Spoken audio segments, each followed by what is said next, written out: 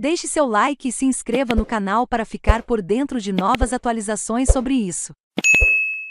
Ener Valencia já tem data para anunciar seu próximo destino. Repórter JB Filho, segundo ele, o Fenerbahçe tem prioridade na renovação do contrato, mas o jogador tem propostas do Brasil, México, Dubai e Arábia Saudita.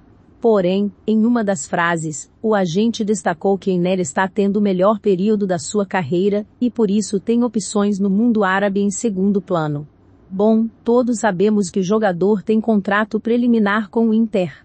Que vai anunciar que ficará no Beira Rio pelos próximos três temporadas já é bem óbvio.